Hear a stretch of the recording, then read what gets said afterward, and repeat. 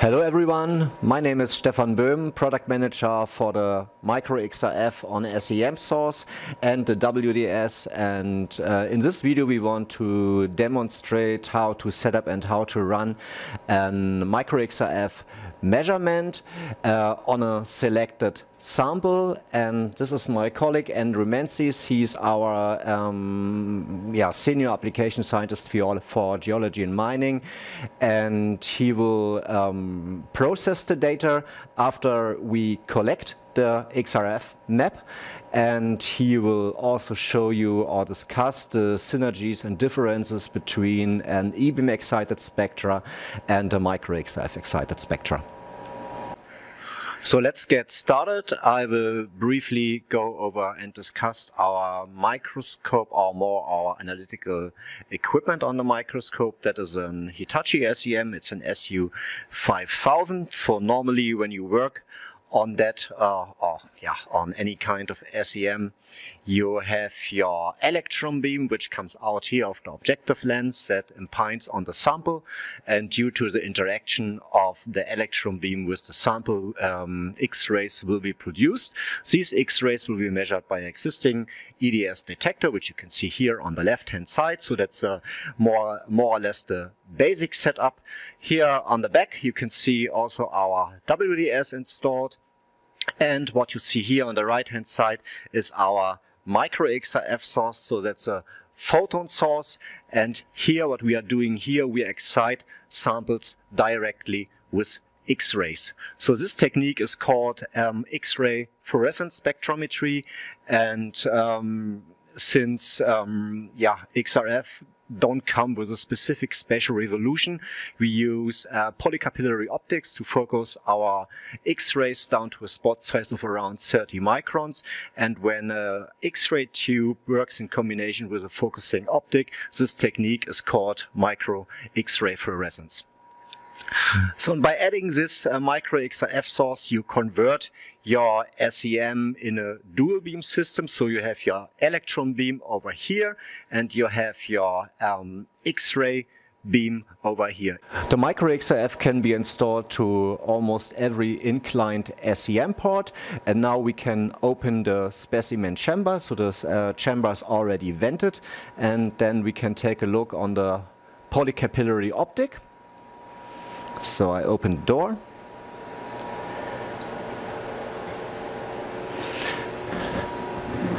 And what you see over here is the uh, polycapillary optic.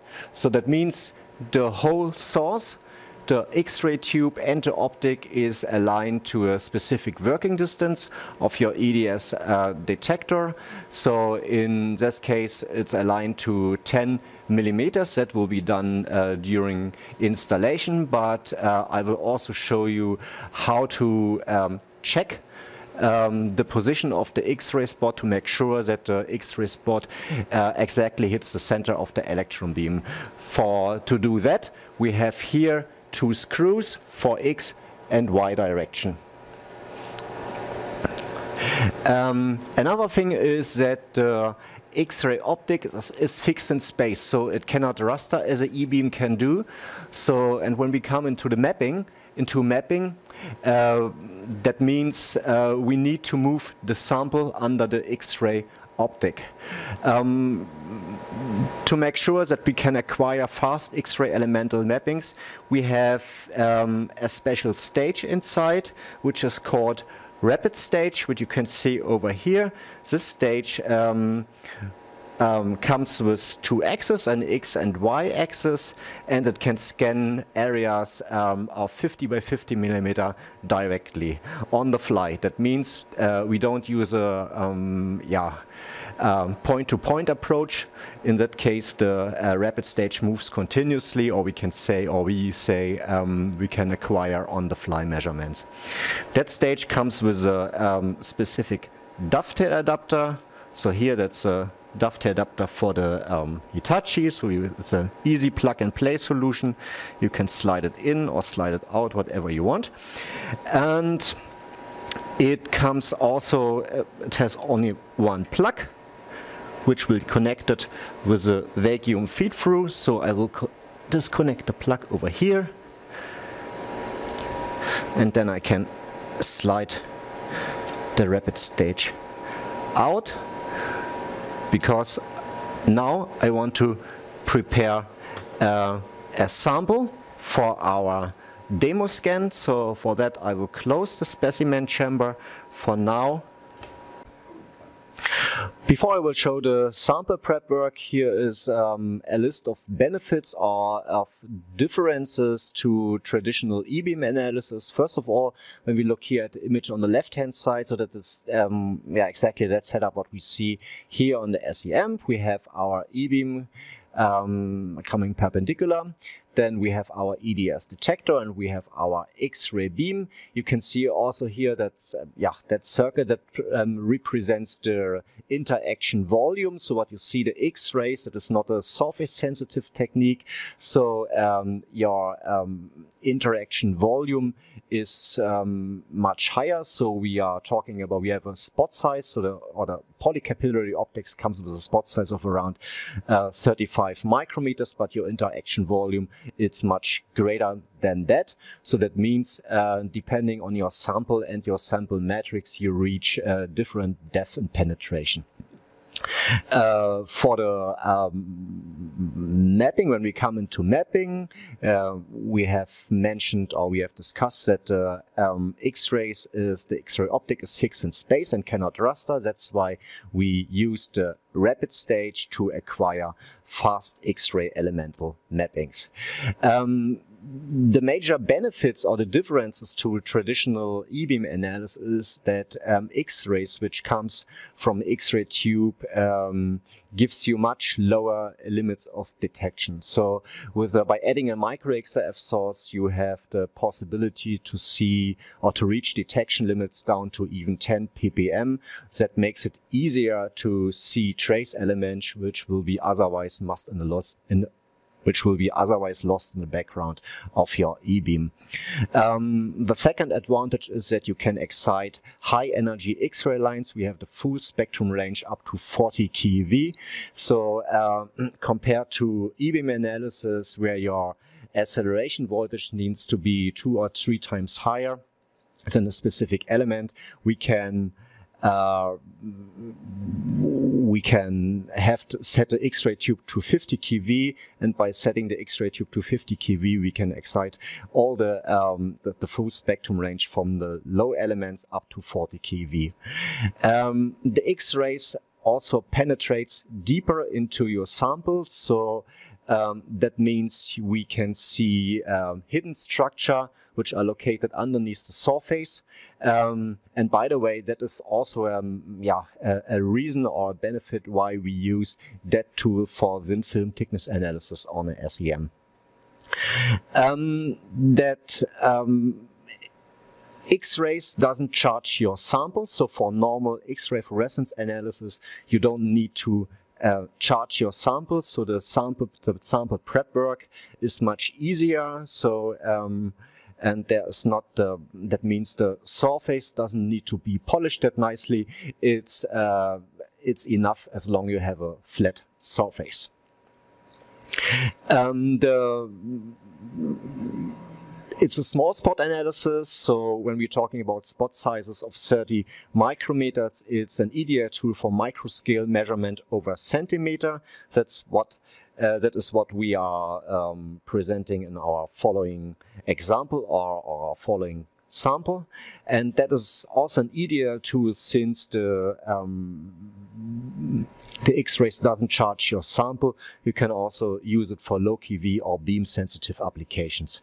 And also a pre, uh, an ideal pre-screening school to make hotspots of trace elements visible will, uh, and these locations can be further analyzed by using the electron beam.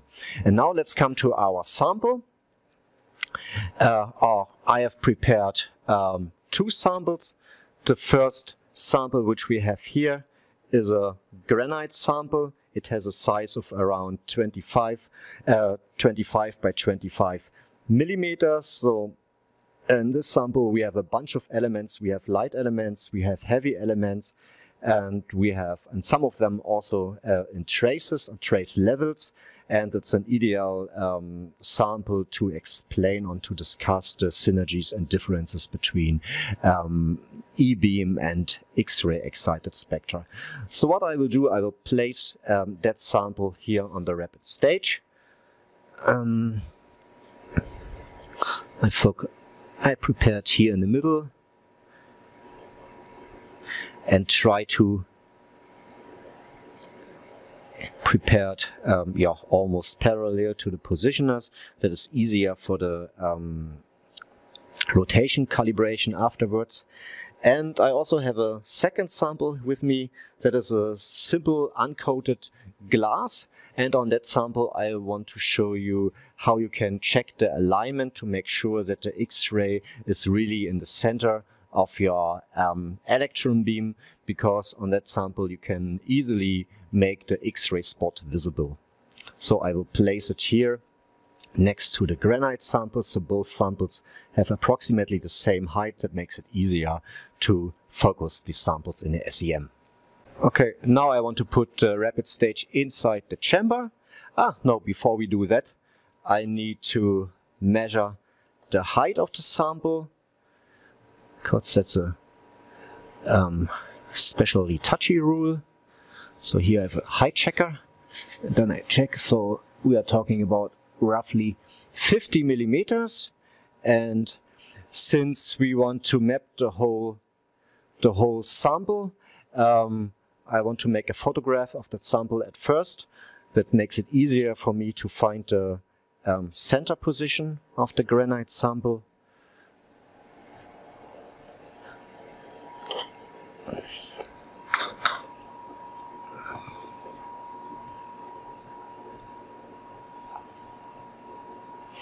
So, then I can go to my SEM software. I can click on specimen settings. I choose the, yeah, the diameter of the sample holder. It's the 51 and yeah 51 is okay I think and then we can start creating the movie.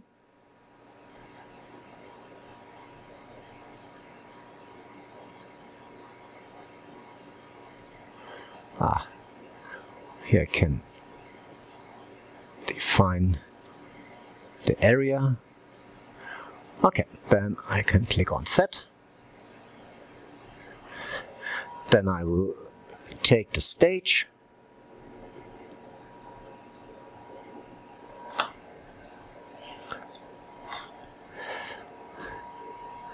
and we'll plug the stage inside the specimen chamber. So you see here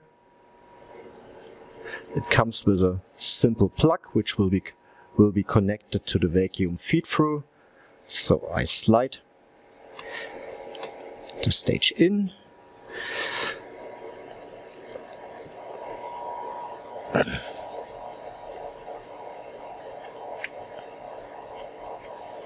Then I connect the plug. So.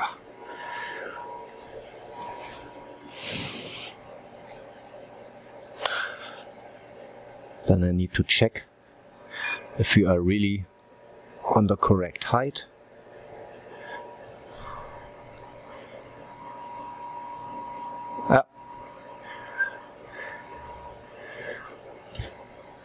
And once I'm ready with that, I can click on next. And now the chamber will be evacuated.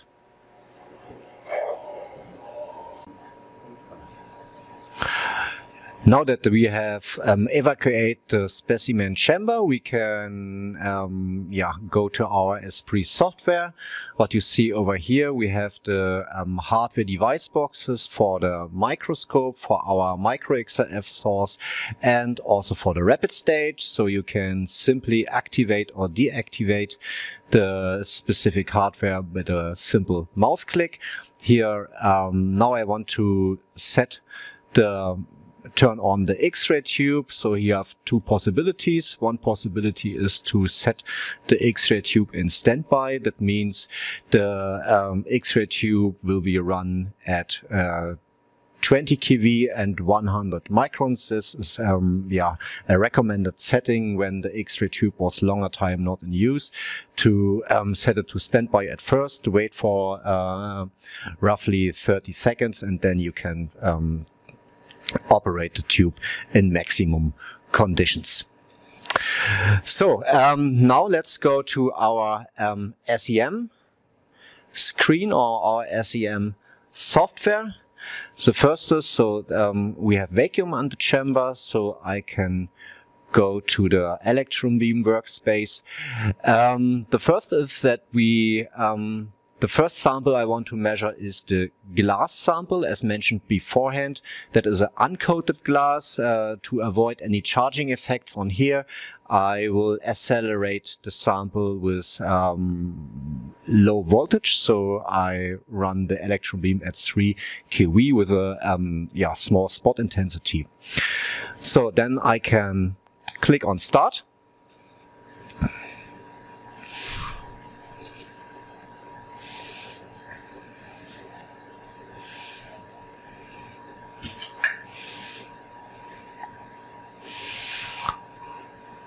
So the um, the Hitachi SEM sets uh, the yeah the Z value for the stage will be set to 5 millimeters per default, but we working at 10 millimeter working distance, so I change the Z to 10.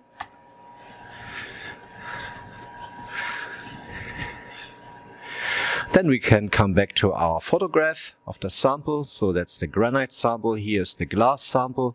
So I go here on the glass, the SEM stage moves to the glass sample and now we focus the glass sample in 10 millimeters to 10 millimeters. So I press auto contrast brightness.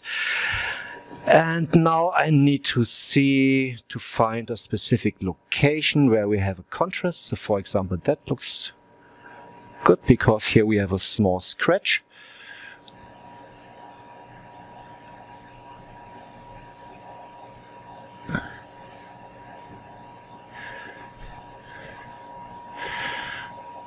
So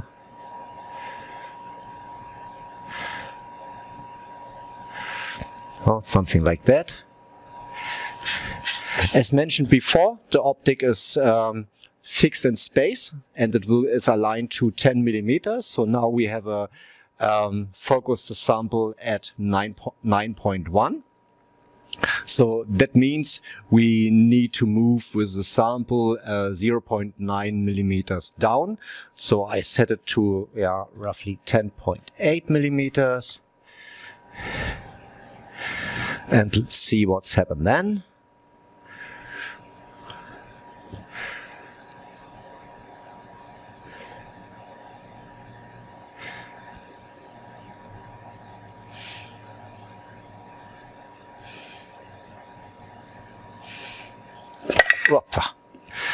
So, okay, one millimeter higher.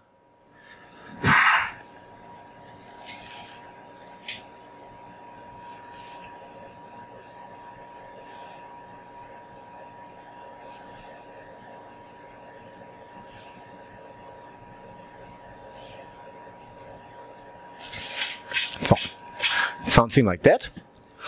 And then we can go to our ESPRIT software. So now we have focused the glass sample at 10 millimeters and now we want to check if our X-ray spot is really in the center of the electron beam. So what I did, I select, uh, go to minimum magnification in the SEM image.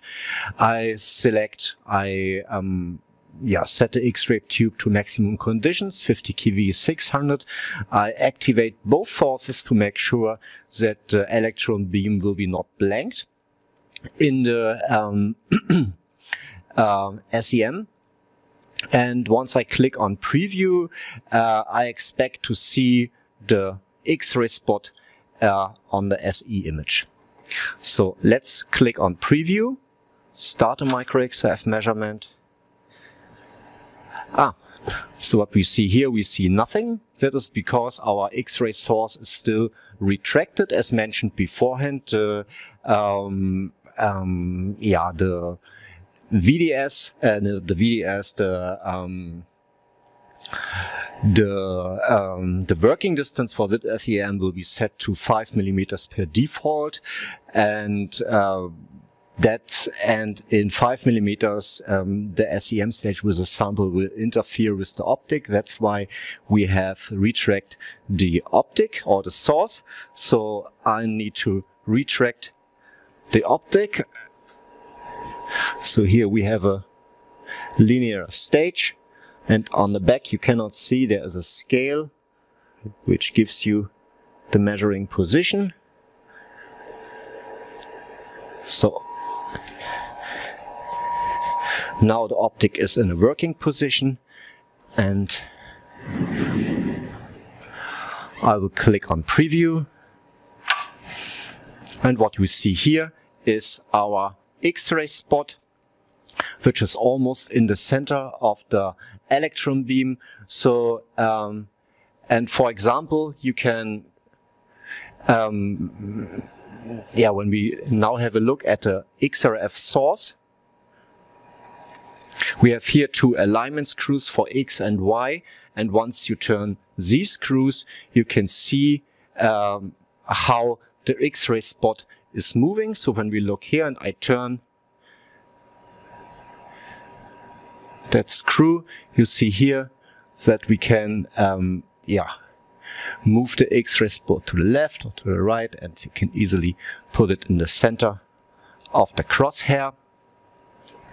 Um, so that's a nice effect that is um, generated by an by a photo effect which makes the X-ray spot visible. So as you see, as we turn on this um, the um, the X-ray source, Uh, yeah spot was almost in the middle, but we recommend to check that the spot is really in the middle um, because uh, even especially on older SEMs, it can happen if we're working with different magnifications and the objective lenses are not well aligned. It can happen that you have a small misalignment. You don't need uncoated glass. You can also put a simple piece of paper that you have the same effect. But here I want to uh, demonstrate it on the glass sample. Okay, now we are ready with that and we are sure that the X-ray spot is exactly at the center of the electron beam. We can stop the measurement and then we can go to our granite sample. So they are roughly at the same height, but not exactly. So I move here into the center.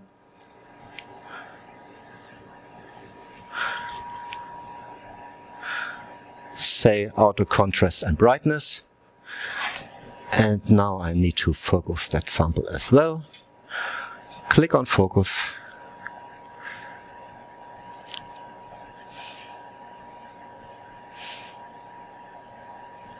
So you see here, the image is sharp at around 11 millimeters. So we need to go move with the stage one millimeter higher.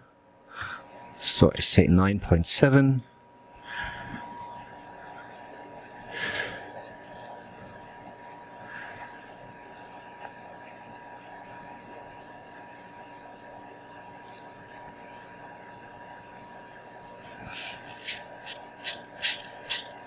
And now we have focused our granite sample at 10.0 um, millimeters and now we are ready to do our micro XRF and E-beam work.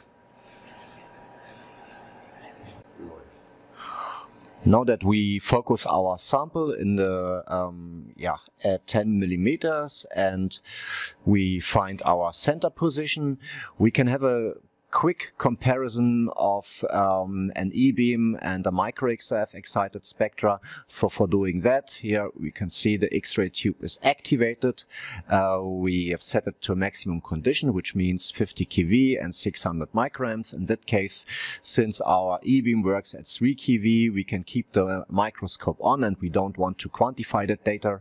So I select an, um, yeah, yeah, uh, 30 um, seconds real time click on acquire then the software tells you, yeah, okay, uh, in this case, we gathering micro XRF and eBeam data together. It's not possible in that case. We can ignore it for now.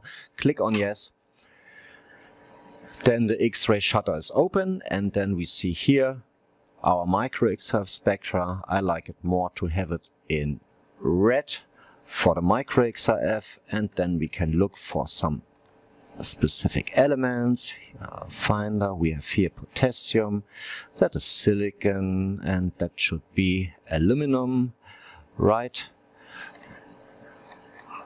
Okay, set it here to channel, and we have also here some other candidates like rubidium, and what's that? We have strontium here, maybe a tiny peak of zirconium,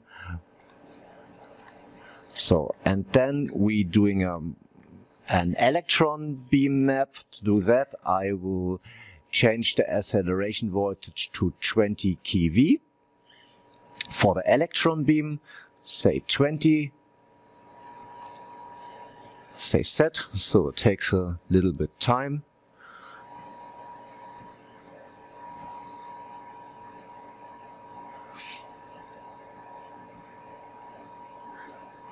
And for this measurement, I will deactivate the X-ray source. So I simply click here on the microscope. Then you can see here that the uh, um, X-ray tube is grayed out.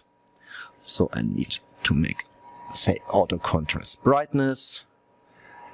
And then we can we have around 8.5 kilo CPS. It's okay for now. Check the real time, yeah, 30 seconds. I repeat the measurement by using the e-beam.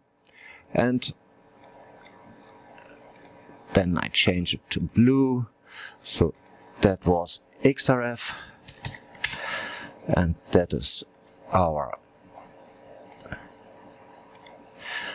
our EDS data.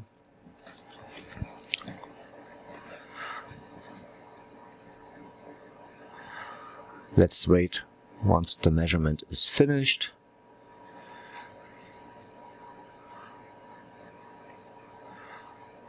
Okay, and then we can have a quick look at the spectra. So we see here our aluminum, our silicon. We have here our potassium. And what you can see here, the differences are from um, E-beam and micro-XRF excited spectra. So for the E-beam, it drops down, we accelerate with 20 kV, so we have an, uh, we can excite all the elements which are here um, between we can excite the light elements and it goes, but then it drops down at around 8 um, keV for the micro XRF. The most, um, yeah, the highest cross section is uh, for the mid and heavy element lines. So what you see here is a crossover of both techniques. So with the electron beam, we have a higher intensity profile for aluminum. For silicon, we have um, a higher count rate, um, yeah, or stronger peak coming from the micro XRF. And when we go to um, higher intensities or higher X-ray lines, we can see here with the micro XRF that we can clearly, um, yeah, see peaks uh, heavy K-line peaks, which are around 15, or we can also go to even 25 or 30 kilo CPS um, KV.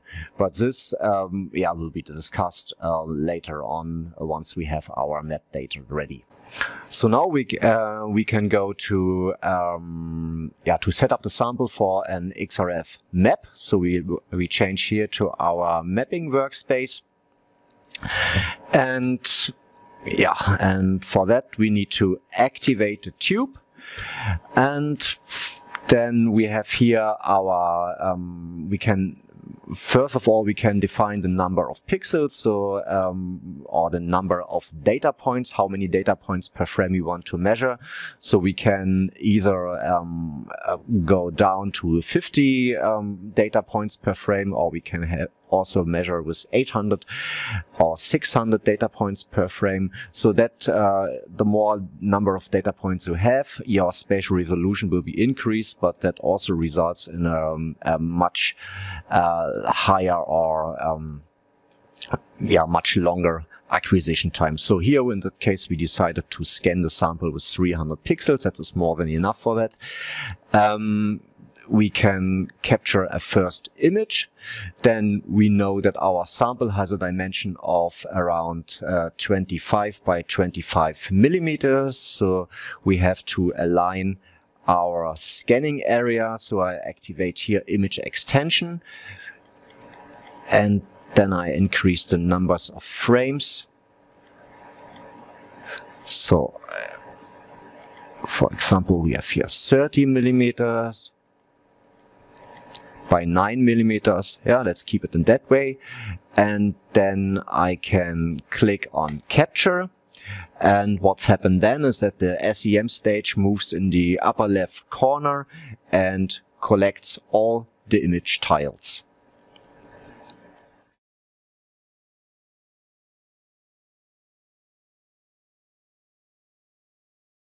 Okay, once our image tiles are collected, uh, we can now set up our um, map area, so our, our, our, our scan area, which area we want to, to map. So at first we can go to the rapid stage and define the speed of the stage. So we can either map very slow or up to a speed of 4 millimeters per second. If you scan with 4 millimeter per second, um, yeah, it saves a lot of acquisition time, but um, you will have uh, yeah um, worth of statistics. So if you are uh, decreasing your mapping speed, you have a much better statistics. So for now, we um, scan our sample with 700 micrometers per second. So that means our stage moves continuously with that um, speed and collects the X-ray map data line by line. So, and that um, yeah, results in a frame time of approximately uh, 22 minutes. So I can click on acquire, um, on apply. Then I can go to my map area. I select variable and then I have here that frame. And then, for, for example, we can uh, decide to map that map area. Then I can pre-select an element, for example, copper and silicon. And once I'm ready with that, I deactivate the microscope because we want to ensure that we have pure um, XRF data. Select the tube, then the E-beam is deactivated. And once I press acquire, the electron beam will be blanked. And the only signal which we now have in the chamber is that signal which comes from the micro XRF tube. And once I start the measurement, you see here the coordinates for the rapid stage will be changed. So the rapid stage moves here in that um, upper left corner and collects the X-ray map data line by line. Once our micro XRF map is finished, we can go over here to that button and say map data save and I call it one granite underline XRF click on save so the whole map will be saved as a hypermap file. So hypermap means that for every position, um, every spectra and all the images will be saved, which allows a, a post-processing of the data after saving the file. And with that, I will hand over to my colleague Andrew Menzies, and he will discuss with you what are the benefits of the microXRF, what you can see in that map, and will also process the data.